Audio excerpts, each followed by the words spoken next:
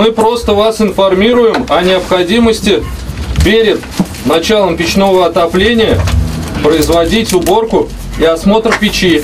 В этот дом тепло приходит по собственному желанию. Хозяева не ждут, когда по всему городу дадут отопление. Просто подбрасывают в печку уголь.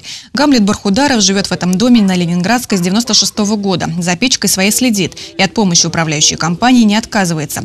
Однако альтернатива с печным отоплением разбирается своеобразно. Починили на копейку, списали рубль. Проблемы были, то есть, ну, я вот э, сделал сам, заштукатурил, а какие-то трещины они сделали. Видел потом смету, в смете было э, перебрать полностью печь, они этого не сделали.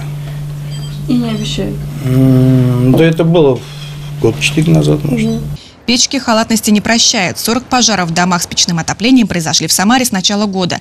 Всего в областном центре почти 900 зданий, где жители отапливаются дровами или углем. В основном в Самарском и железнодорожном районах. В отличие от управляющих компаний, сотрудники МЧС не сидят на печи. Совместно с Российским союзом спасателей регулярно проводят рейды по домам с печным отоплением. Рассказывают жителям, как создать теплую атмосферу и не сгореть. В основном это перекаливание печи. Топка печи должна через определенное время э, приостанавливаться. Люди у нас, чем больше дров, тем лучше. э, И не останавливают процесс отопления и происходит возгорание. Гамлету Бархударову сотрудники МЧС предписали положить у печки коврик из несгораемого материала, чтобы из искры не разгорелось пламя. Если в случае повторной проверки нарушения сохранится, мужчине может грозить штраф от тысячи до полутора тысяч рублей. Мария Ваткина, Валерия Квасневская, Алексей Золотенков. События.